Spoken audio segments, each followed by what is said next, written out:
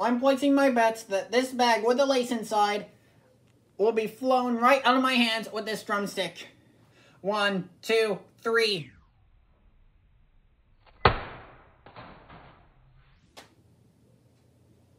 It worked.